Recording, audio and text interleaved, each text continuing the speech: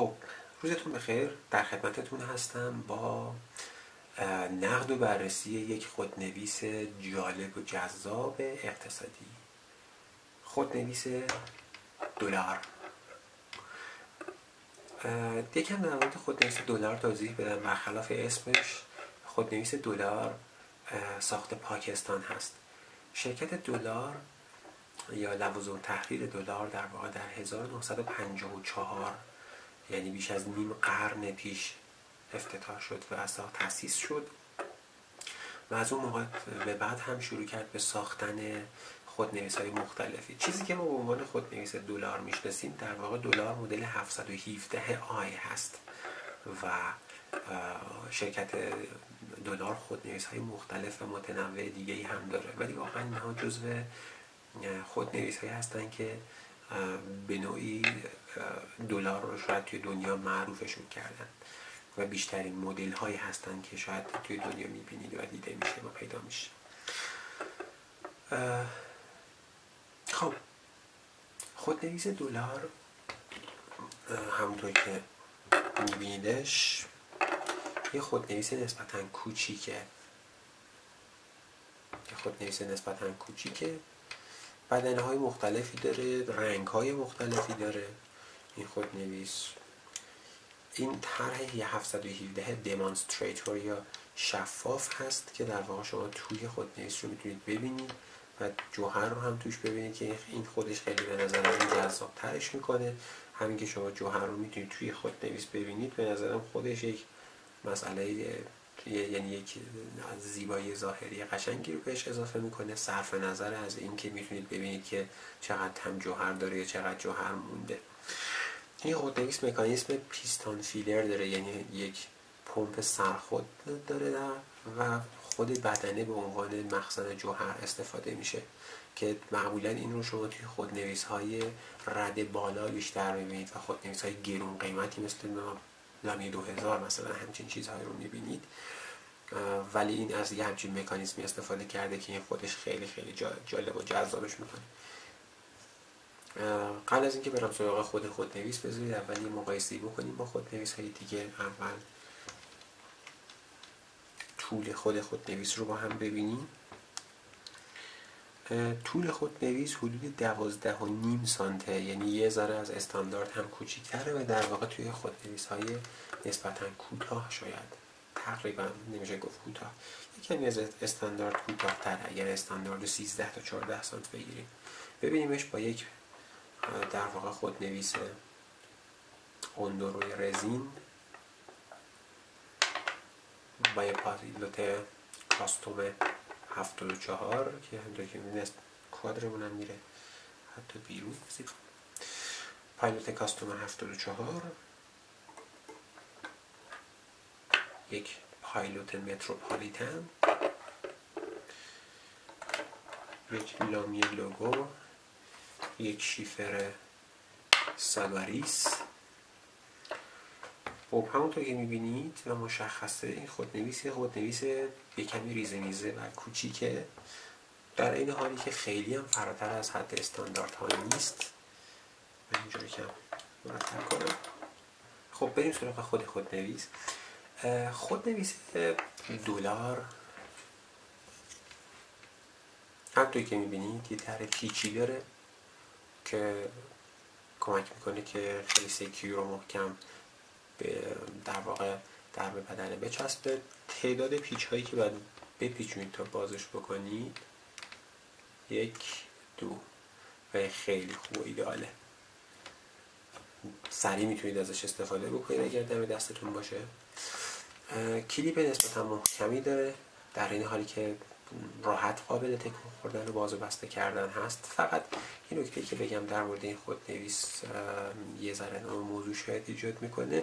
فاصله هستش که به صورت پیشفرض بین این گیره و بدنه وجود داره. و خب این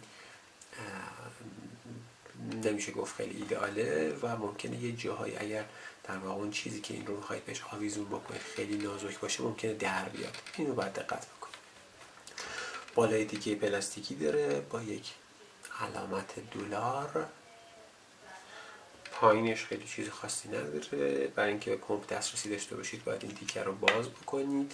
مکانیزم پیستون فیلر در واقع پمپ که خود بدنه از در واقع خود بدنه تبدیل به پمپ میشه و خود پمپ هستش به نوعی. و پمپ سرخود به نوعی. میشه گفت. قسمت اینکه جوهر رو داخلش دارید می‌بینید خودش خیلی می‌تونه جذاب باشه. خب بریم نوکش رو هم ببینیم. نوک رو هم می‌تونید ببینید که در واقع آرم دلار رو دارید روش می‌بینید و کلمه Iridium Point. که نشون دهنده اینه که نوک این در واقع جنس سخت ایریدیوم داره و به این راحتی نوکش سابیده نمیشه و از به این نمیره. چه چیزهایی در مورد این خود نویس در مورد هر خود نویس نقطه ضعفش هست یا نقطه ضعفش به نظر من هست. خب در مورد خود نویس دلار ببینید به نظر من دو تا موضوع داره. یک مشکلی که وجود داره در مورد خود نویس اینه که این پمپ پیستون فیلری که داره اگه دقت کنید همینجا هم حتی مشخصه که جوهری که کشیده میشه گاهی قطراتی از این رد میشه و میمونه پشت پمپ که اینو به راحتی نمی‌تونید تمیزش بکنید. بنابراین اگر فرد حساسی هستید به این موضوع و از مدل های دیمانستریتورش استفاده نکنید و در واقع غیر شفافش رو بگیرید.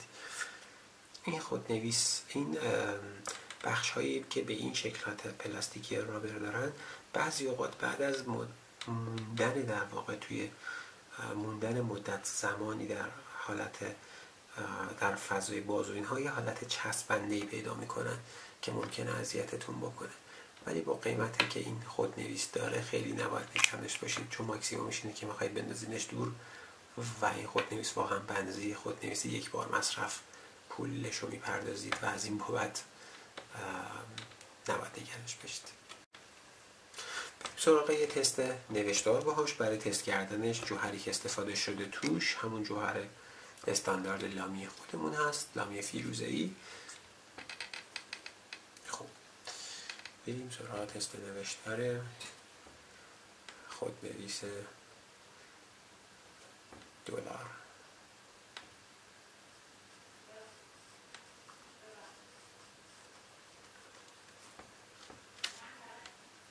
دلار مدل 717 آی. حالا این مدل دمانستریتور یا در واقع شفافش هست بدن شفافش هست. نیپ سایزمون میدیومه نمی‌دونم اصلا که باریکتری داره یا نه مطمئن نیستم داشته باشه. و طبعا نوکش هم استیل هست. بریم سراغ مادیا همینجا. خب.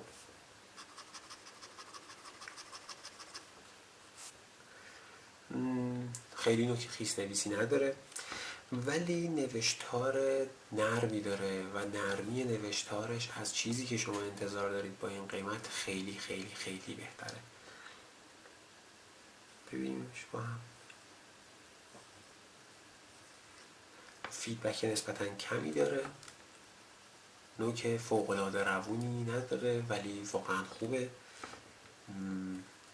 به ندرت خودکاری ممکنه داشته باشید که روونی خود نویس بنویسه. فقط این می‌تونم در موردش بگم. در مورد line variation واقعا روش حساب نکنید. نوکش خیلی خیلی سفته. و خیلی خیلی محکمه و با زیاد فشار دادن ممکنه بهش صدمه بزنید. پس خیلی روش حساب نکنید.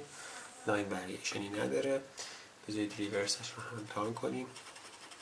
reverse writing خیلی خیلی خش میفته ولی می نویسه برخلاف خیلی خود نویس که نمی نویسند حتی. ولی خود نویس می نویسه فقط خیلی نوشتارش خشدار و scratchy میشه. بریم سراغ نوشتار فارسی.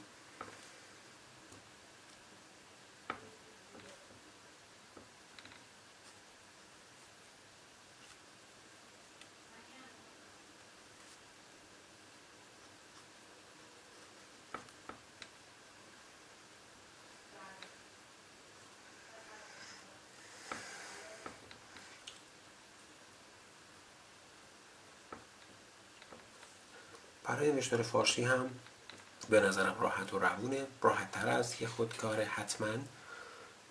راحت در خودنویس دنیا نیست قطعا ولی خودنویس خوبیه. سکشنی که داره یکی می در مورد خود عباد خودنویس هم اگه بخوام بیشتر توضیح بدم. بذارید رو بردارم از اون کمی بیشتر بیارم بیرون. ببینید section خودنویس نسبتا کوچیکه ولی این تیکه section به بدنه خیلی راحت چسبیده و thread ها هم تیز نیستند و تیزی خاصی ندارن.